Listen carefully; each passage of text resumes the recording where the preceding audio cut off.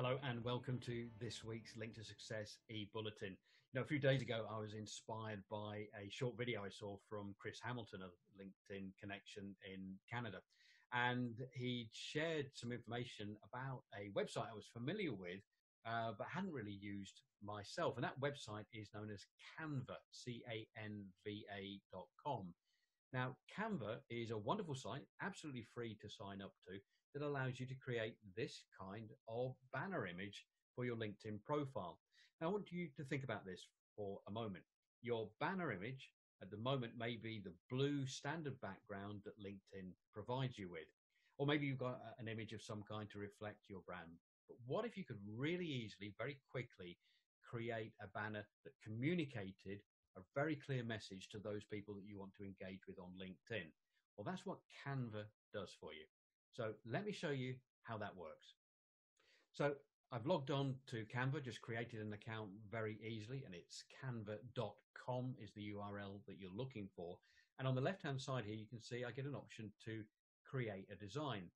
Now, when I click that option, I get lots of templates that I can use for LinkedIn or Facebook covers or Facebook posts. So lots of different applications you can use Canva for.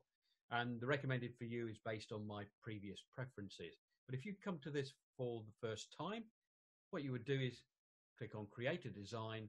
This page will appear and you scroll down the page until you actually find LinkedIn banner.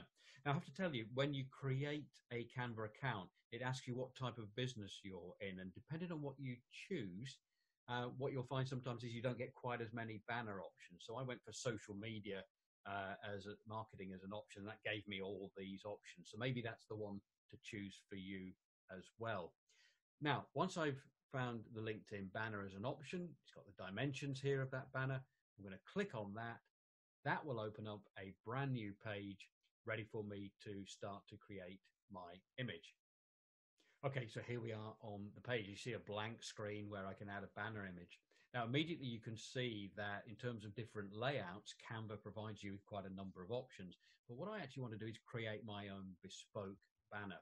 So I'm going to come to upload on the left-hand side here, and I can choose to upload a brand new image if I want to from a file. But as I already have one saved from earlier that I've used, I'm going to click on this image here that you probably saw a moment ago I was using on my LinkedIn profile.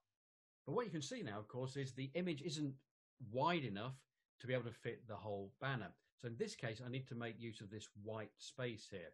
Now, what I did in my particular plan was to come to background over here. And I get all these different background colors that I can choose.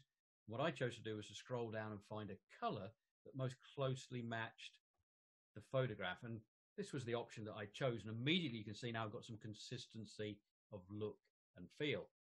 What's missing now, of course, is the text.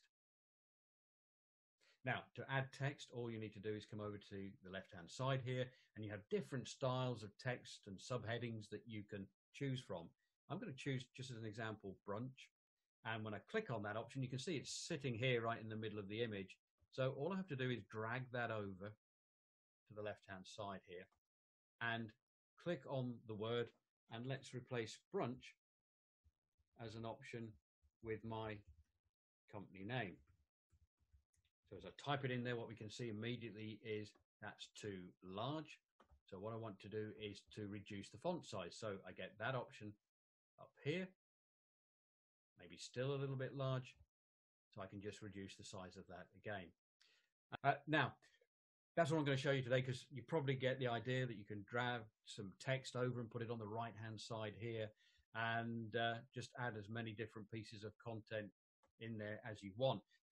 Once you're finished, all you have to do then is click download and it saves it as a PNG file. You download that to your computer.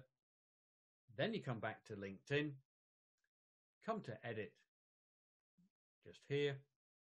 If you don't already have a photograph, when you click on the edit for the banner image, you'll click on add a photo. In this case, I would change a photo, upload it, position it as you would like it to be seen in LinkedIn's dimensions, and then click apply and you have a brand new banner image on your LinkedIn profile.